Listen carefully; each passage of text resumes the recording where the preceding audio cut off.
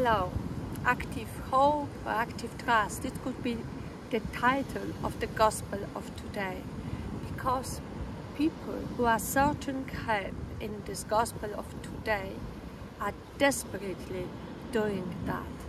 They, let's see, let's say the woman of the gospel, starting with her, she is ill, but she's ill for so long time and she's not discouraged. She's searching so many ways for healing and she's ready for suffering for that because he, she knows that the cures of the doctors in these times weren't, were all were, were connected with great pain as the gospel is revealing and they are costly. There was no national insurance.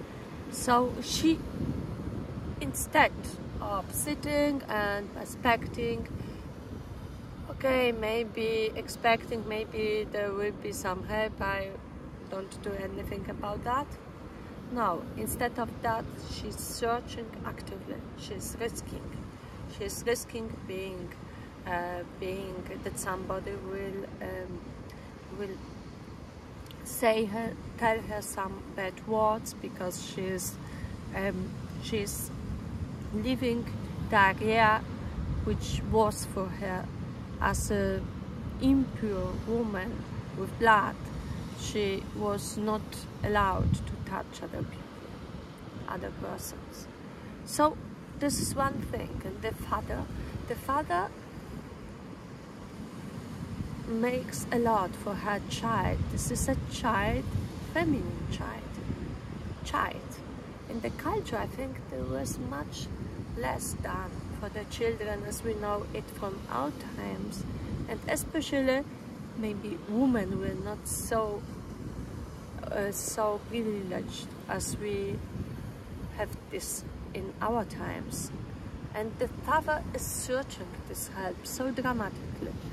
So even risking contacting Jesus maybe he was an important feature but not only. He was a feature which is a person who may cause for him problems because it was not uh, somebody who hasn't already some heavy discourses with Pharisee and other respectable persons.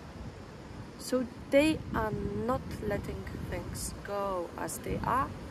And so I think there's this kind of active faith, active trust is what moved Jesus so much. And I think we can learn from this gospel that if we encounter such grave problems in our life, we don't have just sit down and oh I will maybe there will be help, maybe no, and I'm dispirited, but I'm not doing anything. I think this is saying us search for Thank you.